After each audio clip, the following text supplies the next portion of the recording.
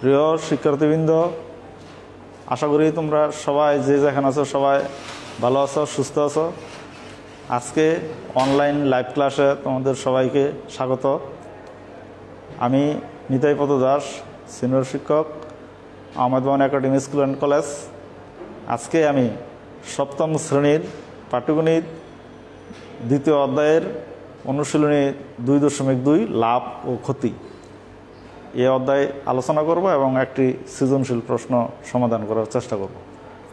তাহলে এই লাভ ক্ষতি সম্পর্কে আলোচনা করতে গেলে প্রথমে আসবে যে ক্রয়মূল্য বিক্রয়মূল্য তোমরা প্রত্যেকেই এই লাভ ক্ষতি ক্রয়মূল্য বিক্রয়মূল্য সম্পর্কে দৈনন্দিন জীবনে এর সাথে অনেক পরিচিত এবং তোমরা নিচের ক্লাসে চতুর্থ, পঞ্চম বা ষষ্ঠ শ্রেণীতেও শতকরা লাভ ক্ষতি ক্রয়মূল্য বিক্রয়মূল্য সম্পর্ক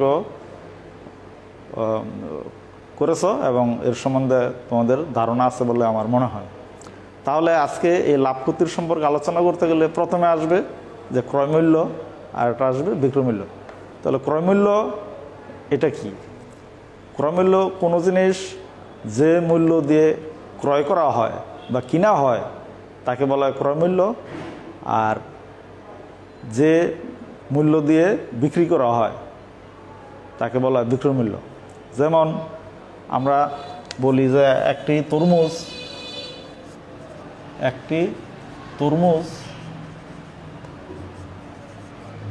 তরমুজ কিনলো কিনলো তিনশো টাকা দিয়ে। তিনশো টাকায়। আর বিক্রি করল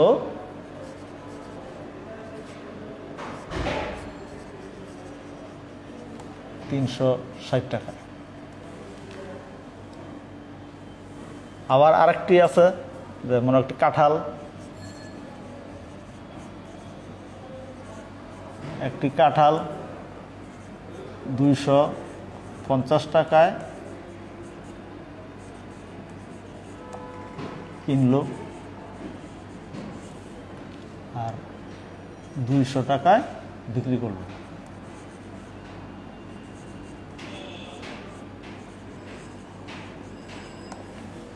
তাহলে এখানে একটু লক্ষ্য করো যে একটা তরমুজ কিনলো তিনশো টাকায় আর বিক্রি করল তিনশো ষাট টাকা। তাহলে এই যে তরমুজ কিনলো তিনশো টাকা, তাহলে এই তিনশো টাকা এই কিনা এটা হলো ক্রয়মূল্য আর বিক্রি করল তিনশো ষাট টাকা, তাহলে এই তিনশো ষাট টাকাটা এটা হলো বিক্রয় মূল্য। আবার এই পাশে আছে যে একটি কাঁঠাল কিনলো দুইশো পঞ্চাশ টাকায়, তাহলে এখানে ক্রয়মূল্য দুশো পঞ্চাশ টাকা আর দুশো টাকায় বিক্রি করল, তাহলে এখানে কাঁঠালের বিক্রয় মূল্য দুশো টাকা। তাহলে এখানে ক্রয়মূল্য বিক্রয় মূল্য, এটার উপরে একটু লক্ষ্য করলে বোঝা যাইতেছে যে দুইটার মূল্য কিন্তু এক নয়। কোনোটা দুইটার তুলনায় একটা কম বা আরেকটা বেশি। তাহলে আমাদের এই ক্ষেত্রে দেখা যাচ্ছে যে ক্রয়মূল্য হলো তিনশো। এক্ষেত্রে ক্রয়মূল্য তিনশো টাকা। আর বিক্রয় মূল্য তিনশো ষাট টাকা। তাহলে এই ক্ষেত্রে ক্রয় মূল্যের তিনশোর তুলনায় বিক্রয় মূল্য তিনশো ষাট টাকা বেশি। আবার এই ক্ষেত্রে কাঁঠালের ক্রয় মূল্য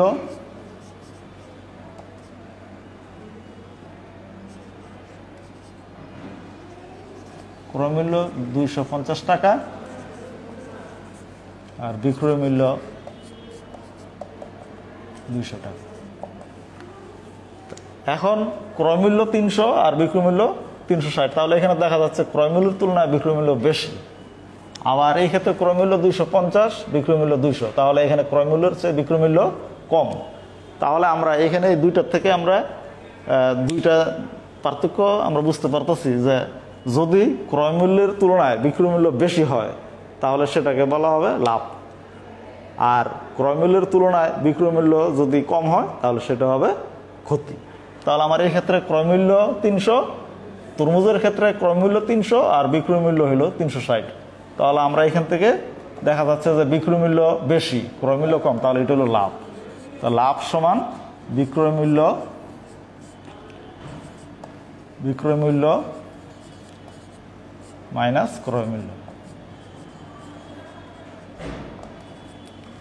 আবার এই ক্ষেত্রে ক্রয়মূল্য দুইশো পঞ্চাশ, বিক্রয় মূল্য দুইশো। তাহলে আমার এই ক্ষেত্রে কাঁঠালের ক্ষেত্রে দেখা যাচ্ছে যে ক্ষতি। এখানে ক্রয়মূল্য বিক্রয় মূল্যের চেয়ে কম। তাহলে এখানে ক্ষতি সমান হইল ক্রয়মূল্য মাইনাস বিক্রয় মূল্য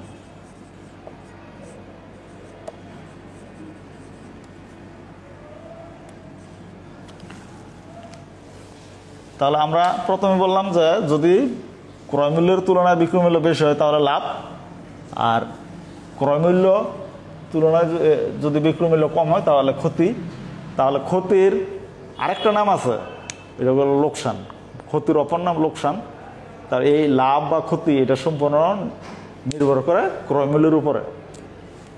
তাহলে আমরা এখানে লাভের থেকে, এখানে ক্রয়মূল্য বিক্রয় মূল্য আর দুইটা কথা বের করতে পারি। যদি আমরা এই মাইনাস ক্রয়মূল্য তাহলে আমরা সমাধানের অনুসারে যদি মাইনাস ক্রয়মূল্য এই পাশে নিয়ে আসি, তাহলে আমার এখানে থাকছে যে বিক্রয় মূল্য। বিক্রয় মূল্য সমান ক্রয় মূল্য প্লাস লাভ। তারপর আবার এখান থেকে আমি ক্রয়মূল্য লিখতে পারি।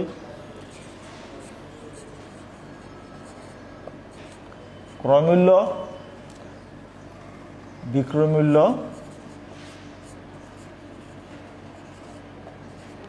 মাইনাস লাভ। তাহলে এই ক্ষেত্রে লাভ সমান হলো বিক্রয় মূল্য মাইনাস ক্রয় মূল্য তাহলে শুধু বিক্রয় মূল্য এই ক্রয় মূল্যের সাথে লাভ যোগ করলে আমরা বিক্রয় মূল্য পাবো। আবার যদি ক্রয় মূল্য সমান লিখতে পারি বিক্রয় মূল্য থেকে লাভ বাদ দিলে। তো তদ্রূপ একই ক্ষেত্রে, একইভাবে যদি আমরা করি, তাহলে এই ক্ষেত্রে আমরা লিখতে পারি যে বিক্রয় মূল্য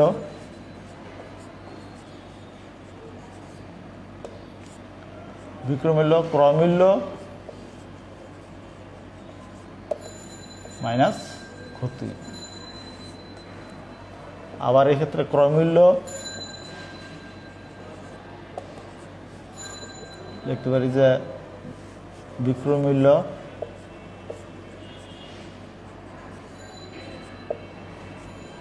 প্লাস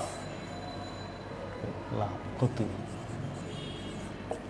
তাহলে এখানে লাভের ক্ষেত্রে আর ক্ষতির ক্ষেত্রে ভিন্ন।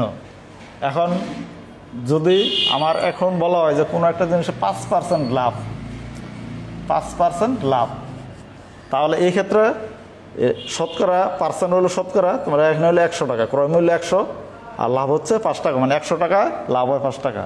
তাহলে আমার ক্রয় মূল্য এখানে একশো, আর লাভ হচ্ছে পাঁচ তাহলে এই একশোর সাথে পাঁচ যোগ করলে আমরা বিক্রয় মূল্য পাচ্ছি। এই যে বিক্রয় মূল্য ক্রয় মূল্য যোগ লাভ। তো বিক- বিক্রয় মূল্য সমান, ক্রয় মূল্য হলো একশো, আর লাভ হচ্ছে পাঁচ, তাহলে বিক্রয় মূল্য হলো একশো যোগ পাঁচ, একশো পাঁচ টাকা। আবার এই ক্ষেত্রে যদি বলি যে দশ পার্সেন্ট ক্ষতি, দশ পার্সেন্ট ক্ষতি, তাহলে বোঝা যাচ্ছে যে এটা একশো টাকায় ক্ষতি হয় দশ টাকা। তাহলে আমার একশো হলো ক্রয় মূল্য, আর ক্ষতি হচ্ছে দশ টাকা। তাহলে বিক্রয় মূল্য হবে এই একশো মাইনাস দশ সমান নব্বই টাকা। তাহলে আমরা এই অধ্যায় থেকে আমরা লাভ, ক্ষতি, তারপরে ক্রমূল্য বিক্রমূল্য সম্পর্কে ধারণা পেয়েছি। তো চলো এর আলোকে আমরা একটা সৃজনশীল প্রশ্ন সমাধান করার চেষ্টা করি।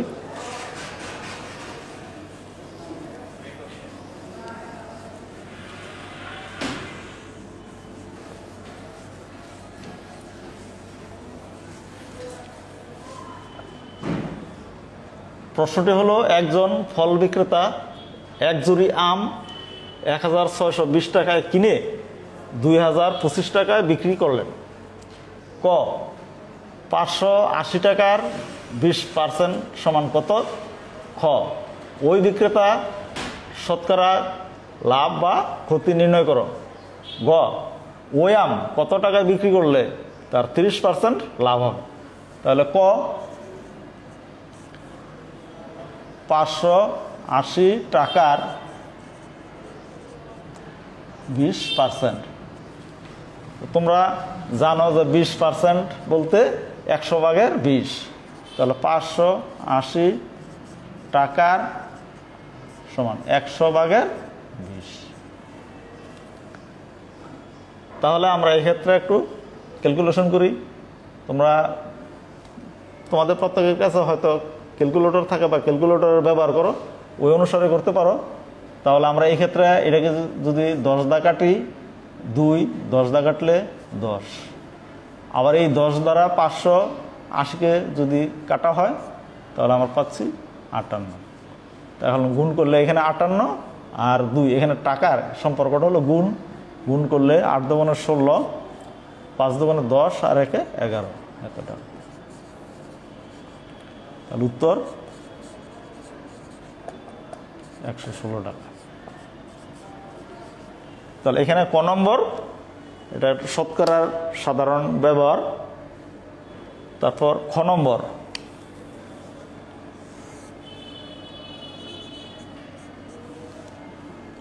একজন ফল বিক্রেতার এক জুড়ি আম এক হাজার ছয়শো বিশ টাকায় কিনে দুই হাজার পঁচিশ টাকা বিক্রি করলেন।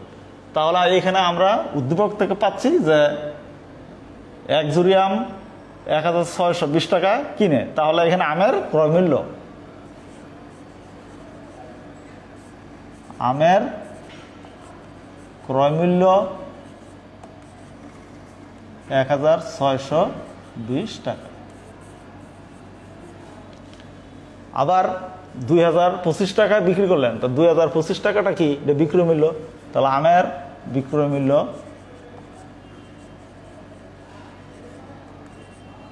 দুই হাজার পঁচিশ টাকা। তাহলে এই ক্ষেত্রে লক্ষ্য করলে দেখা যায় যে ক্রয় মূল্য এক হাজার ছয়শো বিশ, বিক্রয় মূল্য দুই হাজার পঁচিশ। তাহলে আমার এই ক্ষেত্রে ক্রয় মূল্যের তুলনায় বিক্রয় মূল্য বেশি। তাহলে এখানে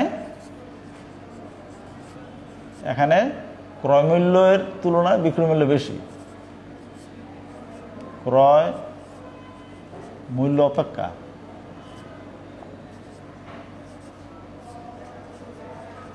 অপেক্ষা বিক্রয় মূল্য বেশি।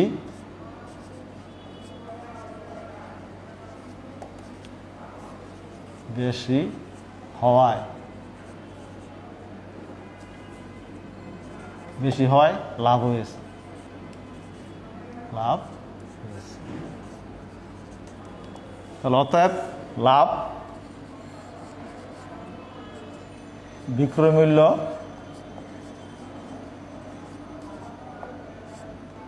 মাইনাস ক্রয় মূল্য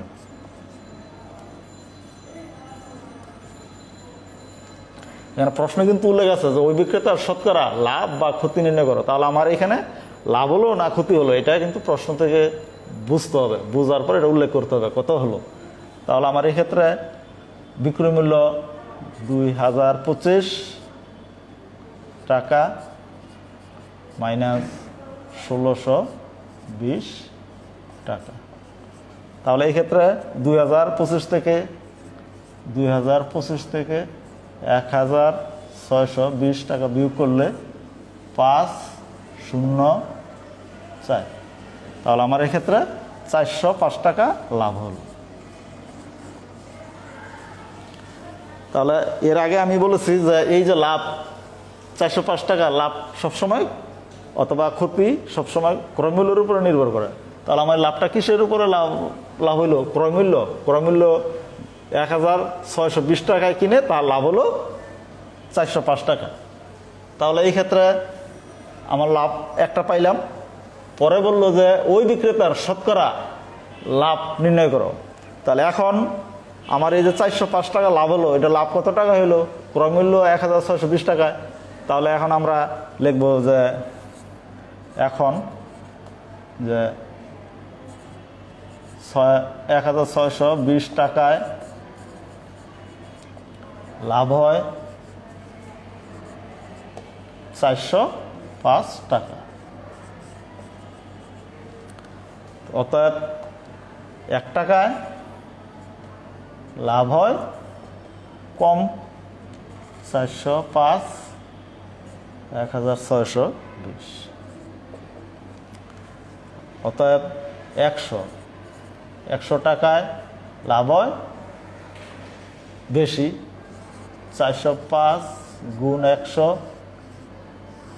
ভাগ এক হাজার ছয়শো বিশ। তাহলে এক্ষেত্রে আমরা ক্যালকুলেশন করি যদি দশ দ্বারা ভাগ করলে দশ দ্বারা একশো কাটলে দশ। দশ দ্বারা কাটলে এক, ছয়, দুই। আবার এক্ষেত্রে দশকে দুই দ্বারা কাটলে পাঁচ, দুই দ্বারা কাটলে আট দোকানের ষোলো, দুই ওকে দুই। একাশি। একাশি দ্বারা চারশো পাঁচকে ভাগ করলে পাঁচ। তাহলে আমার উপরে থাকে পাঁচ গুণ পাঁচ সমান পঁচিশ। টাকা। তাহলে আমার এখানে শতকরা পঁচিশ টাকা লাভ হয়। তো অতএব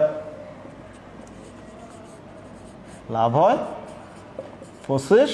আমি শতকরা বের করেছি, এই জন্য এটাকে শতকরা চিহ্ন দ্বারা প্রকাশ করতে হবে যে লাভ হয় পঁচিশ পার্সেন্ট তাহলে উত্তর লাভ পঁচিশ পার্সেন্ট তাহলে প্রিয় শিক্ষার্থীবৃন্দ, তোমরা আশা করি এই খ নম্বরের সমাধানটা বুঝতে পেরেছ। তারপর চলো আমরা এবার গ নম্বর প্রশ্নটি সমাধান করার চেষ্টা করি।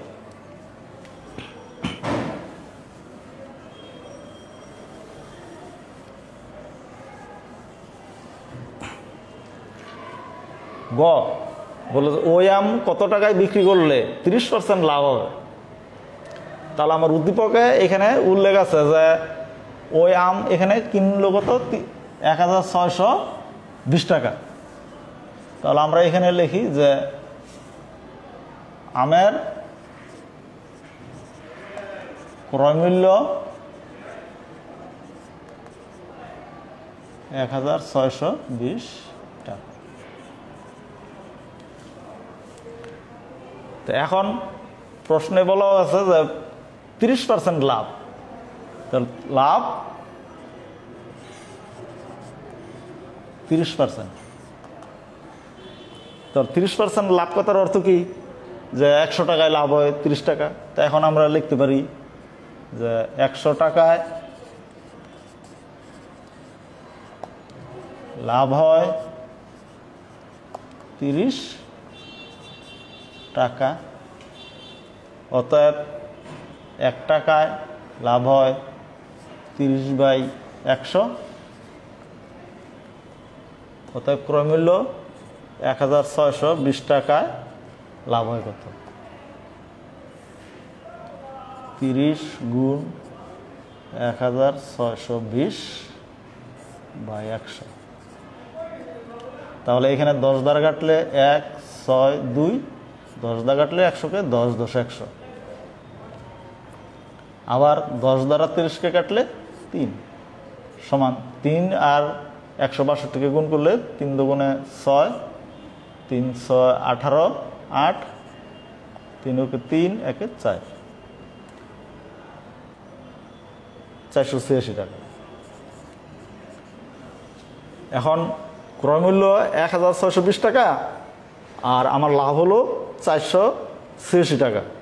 এখন চাই বের করতে বলে যে, কত টাকা বিক্রি? তা আমরা তো এর আগে বলেছিলাম যে, এই যত লাভ হয়, লাভ যদি ক্রয়মূল্যের সাথে যোগ করা হয়, তাহলে পাওয়া যায় বিক্রয় মূল্য। তো অতএব, বিক্রয় মূল্য সমান ক্রয়মূল্য যোগ লাভ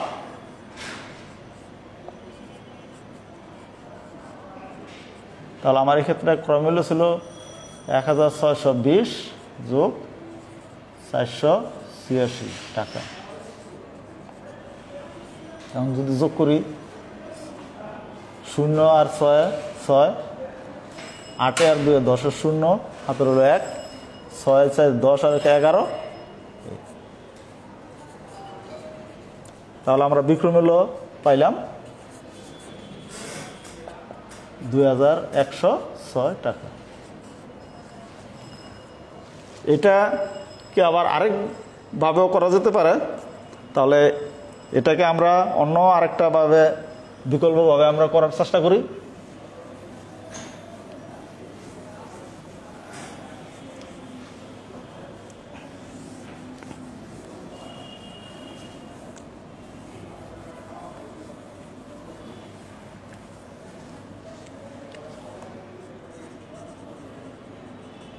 বিকল্প আমার দেওয়া আছে আমের আমের ক্রয় মূল্য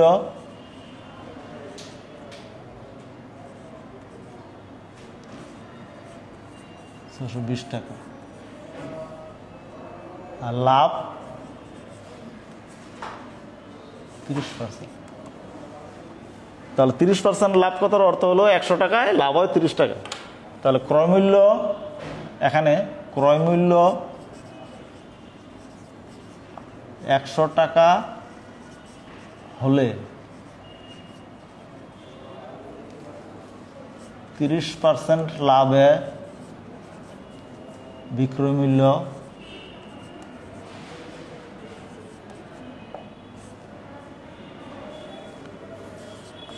একশো যোগ তিরিশ বা একশো তিরিশ টাকা।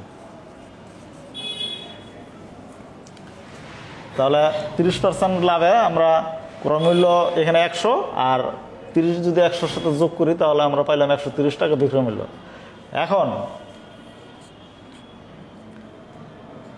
এখন ঐকিক নিয়মে আমার এখানে বের করতে বলা হইল যে কত টাকা বিক্রয়? তো আমার এখানে ক্রয় মূল্য হইল একশো, বিক্রয় মূল্য একশো তিরিশ। তাহলে আমি এখানে লিখতে পারি যে ক্রয় মূল্য একশো টাকা হলে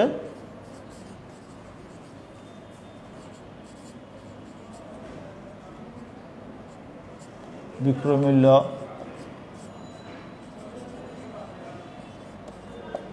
একশো তিরিশ টাকা।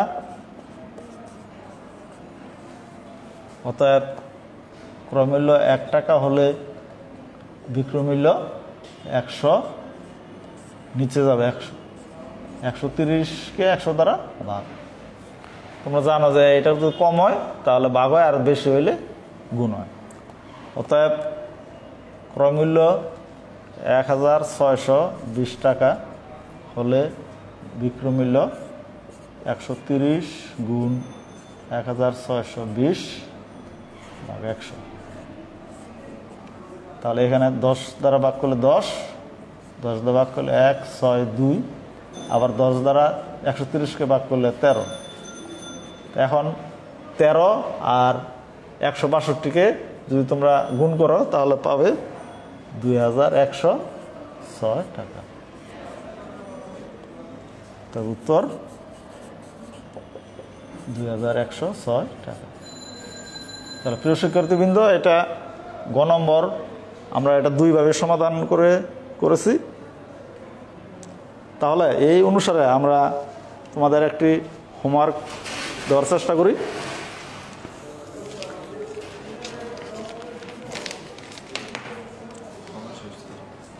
প্রশ্নটা দিয়ে দিই।